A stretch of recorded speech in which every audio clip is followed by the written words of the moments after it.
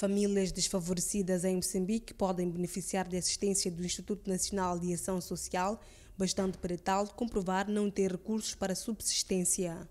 Para que um agregado familiar seja beneficiário deste programa, o primeiro denominador comum é que esta família deve estar em situação de pobreza.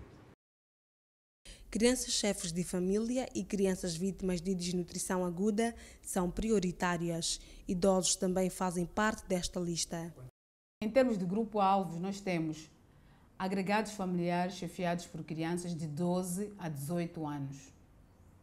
Depois, famílias de acolhimento, agregados familiares com crianças em situação difícil que são apoiadas pelo Ministério da Saúde devido a uma situação de desnutrição aguda.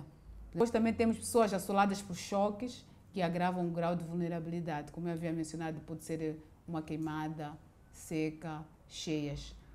Pessoas com deficiência necessitando de meios de compensação.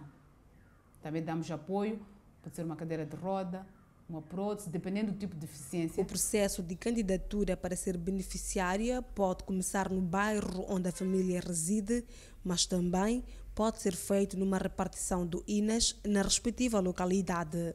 Existe aquilo que nós chamamos de seleção comunitária, em que são as lideranças comunitárias que vão apresentar uma lista ao secretário de bairro ou ao chefe de localidade, que vai apresentar-nos a lista daquelas famílias que são as mais pobres e vulneráveis daquele bairro ou daquelas povoações.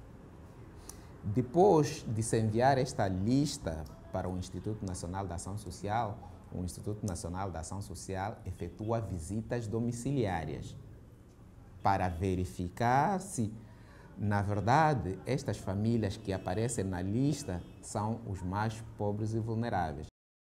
O Instituto Nacional de Ação Social tem quatro programas e beneficia mais de 400 mil famílias.